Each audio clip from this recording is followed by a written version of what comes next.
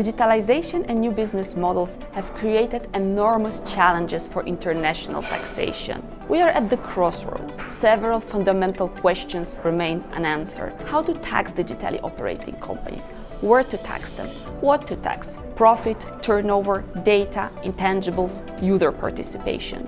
The OECD is driving the international debate on taxing the digital economy it's looking at various proposals, how to change the current tax system, hoping to bring 125 countries to a consensus. We have been searching for a solution already since 2013, and no solution has been found so far. Some countries became impatient. They started thinking about implementing temporary measures to tax digitally operating companies.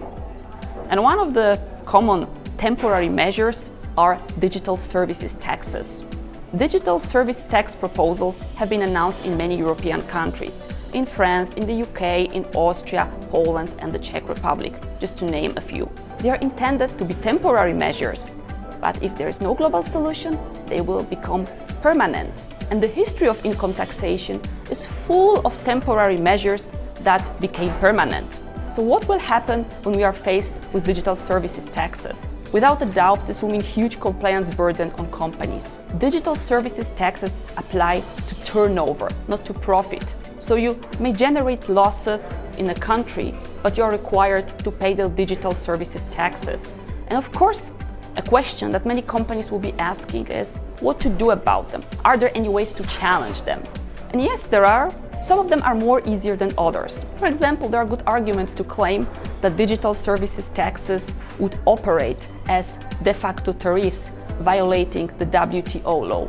That means a country, for example the United States, can make a WTO claim against a country that have introduced digital services taxes. WTO cases, procedures, take quite a lot of time to be resolved. So it may take two years or more. But there are also ways to challenge digital services taxes under EU law. There are good arguments to claim that these taxes violate the state aid rules and the fundamental freedoms. State aid means benefits granted by governments on a discretionary basis. So it's about selectivity. You cannot favor certain companies or certain sectors. And digital service taxes are all about selectivity. They apply only to big companies and they apply only to certain activities. The fundamental freedoms forbid discrimination based on nationality. Digital services taxes do not refer explicitly to nationality, but they refer to thresholds. They affect big companies, and big quite often means foreign. And that would mean that the prohibition on nationality discrimination is violated. So there are ways to challenge digital services taxes. Some of the ways may be more simple than others, and what will happen in the end we just have to wait and see.